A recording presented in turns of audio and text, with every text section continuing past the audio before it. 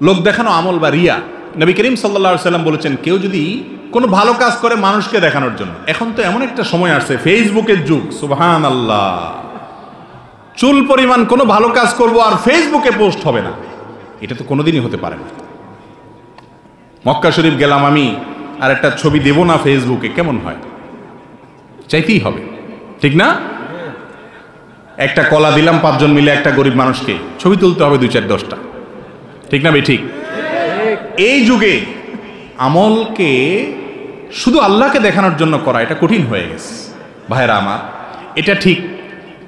লৌকিকতা মানুষকে দেখানোর মাধ্যমে একটা তৃপ্তি পাওয়া যায়, মজা পাওয়া যায়। যে সবাই আমাকে ভাবা দিল লাইক দিল কমেন্ট করল ফেসবুকে নিজের কাছে একটু ভালো লাগল, বুঝলাম, এটা পাওয়া যায়। কিন্তু হাল্লা কাসির আইন্দাল্লাহ, আপনি একটু কিছু গোপন আমল করে দেখেন। একটা আমল করেন কাউকে বলবেন না পৃথিবীতে, কাউকে না। নিজের স্ত্রীকে না বন্ধু বান্ধবকে না মা বাপকে না, কাউকে না। একদম গোপনে একটা আমল করেন, কাউকে কিছু দেন এবং এরপরে আপনি শুধুমাত্র একা একা এটা নিজের ভিতরে রাখেন। জীবনে কখনো গল্প দিতে যাবেন না কাউকে যে কিছু করছেন। একটা মানুষ উপকার করছেন, দান করছেন, একটা নফল আমল করছেন দুরেকাত নামাজ পড়েন, এমনভাবে ডানে বামে কেউ নাই। কেউ দেখছে না। একটু এই টাইমে আল্লাহর কাছে খুব ধীরে ধীরে দুরাকাত নামাজ পড়েন। এই নিয়তে যে শুধু আল্লাহকে দেখাচ্ছি আর কাউকে দেখাচ্ছি না। এরকম যদি দুরাকাত নামাজ পড়তে পারেন, দশটা টাকা দান করতে পারেন, একটা মানুষ উপকার করেন, কাউকে দেখালেন না কেউকে জানতেও দিলেন না। আল্লাহর কসম করে বলছি, যে তৃপ্তিটা আপনার মনের ভিতরে হবে, হাজার হাজার লক্ষ লক্ষ লাইক কমেন্ট পাইয়া সেই তৃপ্তি কখনো পাবেন না।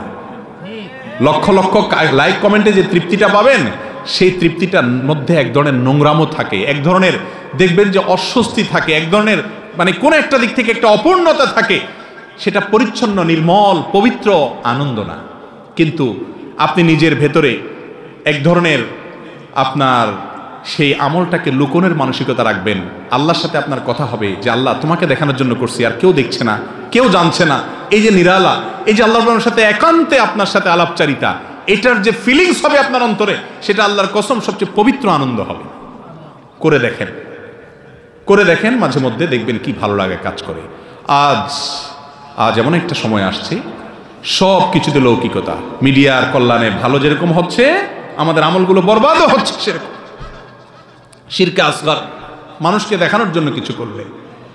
এই জন্য আপনারা জানেন, তিন ব্যক্তিকে দিয়ে জাহান্নাম উদ্বোধন করা হবে। তার ভিতরে তিনও ব্যক্তি হলো রিয়াকার। জাহান্নাম শুরুই হবে এদেরকে দিয়ে, এদের আগে কেউ জাহান্নামে যাবে না। কারি তেলাওয়াত করে, সবাই বাহবা দেয়, আল্লাহ আকবর বলে মাশাল্লাহ বলে। আল্লাহ বলবেন, অনেক সুন্দর সুর দিছিলাম কেরাত ভালো পারতা কি করছ? বলবে, আল্লাহ, তোমার কালাম তেলাওয়াত করে আসছি। আল্লাহ বলবেন, বুঝছি আমি। বাবা পাওয়ার জন্য করছ? লাইক কমেন্ট বাবার সব পাইছো জাহান নামে যাও। আলেম সাহ কি করে আসছো? হ্যাঁ আল্লাহ, এই যে এত আজ নসিহত করছে, এত কিছু করছে।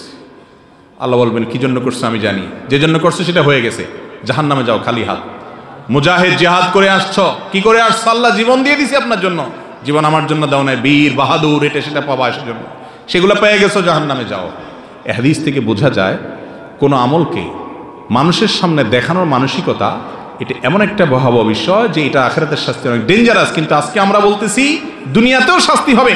যে হাদিসটা আমি বললাম সে হাদিসে, তিরমিজি এবং আবুদাদ বর্ণিত সে হাদিসে মুসাদ আহমদ বর্ণিত সে হাদিসে আব্দুল আমর রাদিয়াল্লাহু বর্ণনা করেছে, অমর রাদিয়াল্লাহু বর্ণনা করেছেন যে এই ব্যক্তি যে ব্যক্তি মানুষকে দেখানোর জন্য দান করে, মানুষের কাছে বাহবা পাওয়ার জন্য কিছু করে, শুধু আল্লাহকে দেখানোর উদ্দেশ্য না, থাকে রিয়াজার মধ্যে থাকে এই ব্যক্তিকে আল্লাহ তুচ্ছ করে ফেলেন, ছোট করে ফেলেন দুনিয়াতে, এটা নগদ শাস্তি। এমনভাবে অপমান করেন, এমনভাবে আল্লাহ তালা তাকে তং করে দেন, ছোট করে দেন, তার জীবনটা সংকীর্ণ হয়ে যায়, ছোট হয়ে যায়, অপমানিত থাকে, তুচ্ছ থাকে। এ হাদিস যখন বলছিলেন, আব্দুল ইবনে অমর আদাল্লাহ তালানহুর দু চোখ বেয়ে তখন পানি আসছে ভয় কত ভয়াবহ বিষয় যে আল্লাহ রাব্বুল আলমিনকে নিবেদন করব এবাদত কিন্তু মানুষকে দেখানোর মানসিকতা যদি থাকে, দশ হাজার, বিশ হাজার, পঞ্চাশ হাজার টাকা দিলাম, আর হুজুরের কাছে চিরকুট দিয়ে দিলাম, হুজুর বলল, অমুক সাহেব এটা দিছে, বলেন মার হাবার সবাই চিৎকার করে বলা মালাম এই কালচার তো এখন ওয়াজ মাহফিলের সবচেয়ে অবিচ্ছেদ্য অংশ হয়ে গেছে। ঠিক না ঠিক। সেই মানুষ খুব কম যে মানুষটা দান করে বলে, হুজুর, কারোর কাছে বলার দরকার নাই। আমি যার কাছে বলতে চাচ্ছি, সে আল্লাহ জানেন। আলী মুম্বিজাতি সুদূর। এ মানুষ পাওয়া যায় না। আমরা চেষ্টা করব তো ইনশাআল্লাহ। প্রকাশ্যে দান করা ভালো, যদি সেটা অন্যকে উৎসাহে দেওয়ার উদ্দেশ্যে হয়। আর যদি আমার একটা ভাবসাব আসবে, ডানে বামে তাকাবো, সবাই আমার মুখের দিকে তাকাবে, বাবারে অমুকে এটা দিছে, তো শেষ। সব তো পাইলেন না, বরং উল্টা শিরকে আসগরের গুনাহ করে আপনি জাহান্নামে যাবেন। নবী সাল্লাল্লাহু সাল্লাম বলেছেন, দাজ্জালের ফিতনা এমন ফিতনা, কিয়ামত পর্যন্ত পৃথিবীর শুরু থেকে নিয়ে কেয়ামত পর্যন্ত যত নবী রাসূল আসছেন, সবাই তার উম্মতকে দাজ্জাল পরে সতর্ক করে গেছেন। কিন্তু দাজ্জালের ফেতনার চাইতে ভয়ের ফেতনা হলো উম্মতের মধ্যে শিরকে আসগরের ফেতনা, মানুষকে দেখানোর যে পাপ, এটা এরকম ভয়াবহ আকারে ছড়িয়ে যাবে, আজকে এটা ছড়িয়ে গেছে। এটার শাস্তি দুনিয়াতে হয়ে থাকে। আল্লাহ তাআলা আমাদেরকে ইখলাসের সাথে সব কাজ করার তৌফিক দান করুন।